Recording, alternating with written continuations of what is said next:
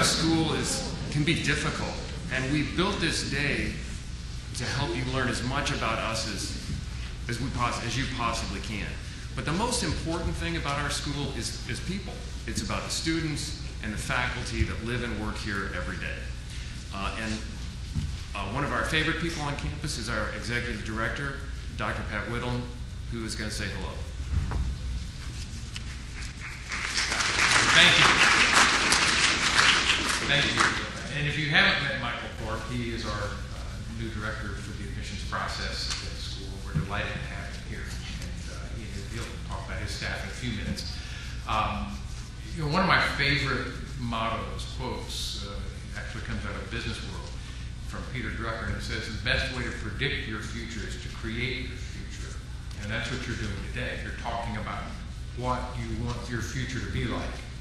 Uh, what do I want? What kind of college do I want? How do I want to be prepared? What do I want to do for, for a career? What's my calling in life? And so uh, that's one of the things that's exciting about the school.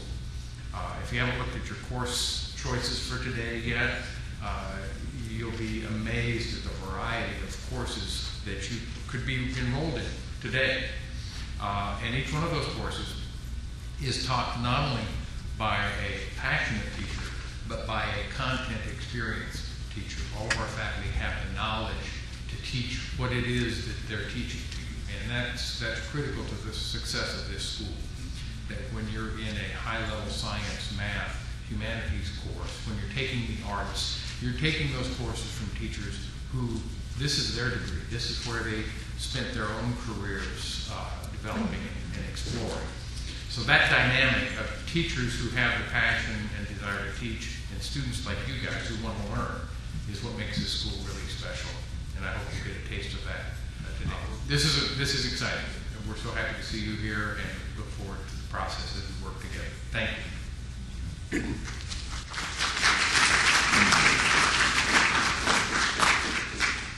So the application process is really straightforward. We just need a few items from you. Student, there's your portion. That's what you fill out when you go online. And bear with us because we've got a new application process this year. We're bringing up a new database, it's all online. When you fill out your portion, that's what counts. When you hit the submit, that's what matters about priority deadlines. What matters is when you hit the submit button on your portion.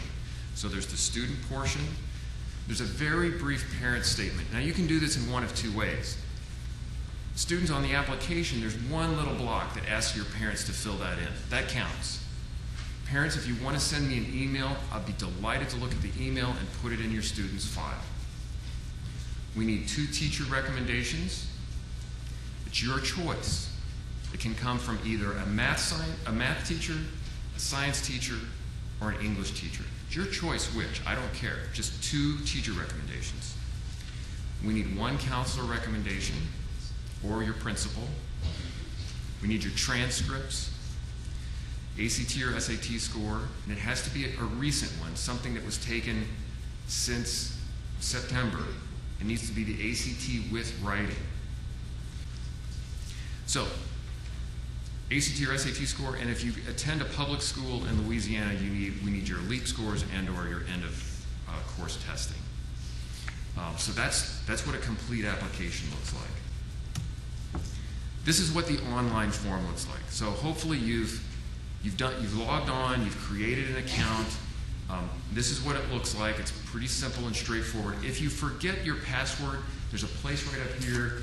I had a, one family that, that forgot their password, and they also forgot which email address they had used, either the student's email address or the parent's email address.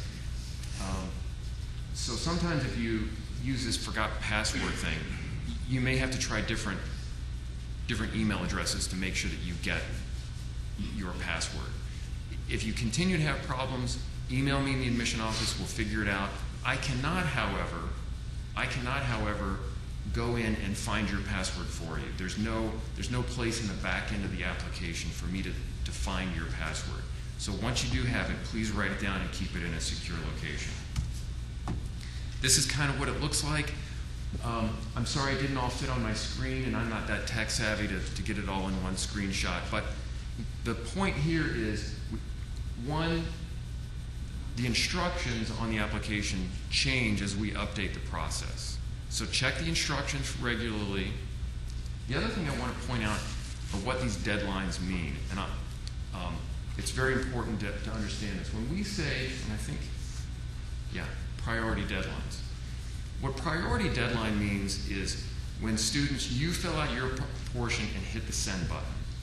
That's what marks those, those deadlines. So all this means, our February 1 deadline that you've submitted your portion by February 1, will render a decision once all the other parts come in.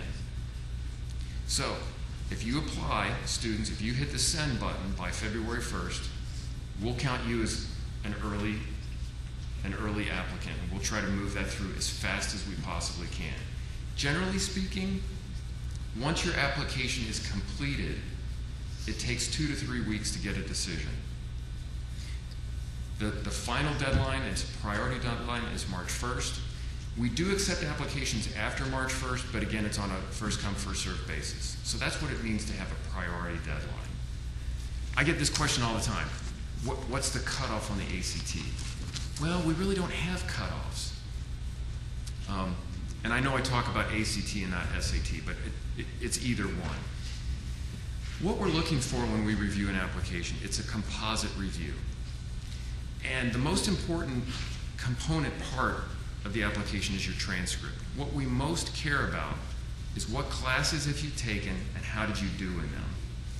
We want to see that you've taken the most challenging courses at your, at your school, and we want to know how you're performing day in and day out in the classroom. That's what's important to us. Yes, we also look at other things like counselor recommendations. We, we read your short answer students. We want to see how well you write. All of those things are important. Finally, we do look at ACT and SAT scores. They do have bearing on the admission process. We do not have cutoffs. It's a composite review. So, if you've taken the ACT multiple times, that's great. Send us multiple multiple scores. We'll look at all of your ACTs and we'll only look at your best one. Uh, whatever makes you look better as a student, that's how we'll consider it in the admission process. If you're applying for 10th grade, if you're currently a ninth grader and you're applying for 10th grade, we require you to do an interview. So if you're applying for 11th or 12th grade, you don't have to do interviews. Just ninth graders have to do interviews. And these are the dates that we're doing them. There are multiple places to interview. We'll be in I will be in Slidell on February 19th. Um, and you'll get information about that in an email. Baton Rouge on the 21st, Monroe on the 26th. Otherwise, you can interview here in Natchitoches anytime you want by interview, or by, by appointment. Try to give me at least a two-week advance notice. Okay, I spoke about advance. Um, again, not a great screenshot, but what's important is that you, you can see the address. If you forget this address, all you have to do is go to the Northwestern site and search on advance. It's a great program, happens, uh, there it is, June 9 through June 20, um, 29. Uh, it's a great program, and I would encourage all of you who are finishing the seventh or eighth grade to think about coming to advance. Okay, so hopefully everyone has my contact information. Um, if you don't, there, there it is. There's the, my direct phone number that rings right at my desk. There's my um, email address. That's the, the admission email address. In addition, I have a personal email address that's mthorp at lsmsa.edu.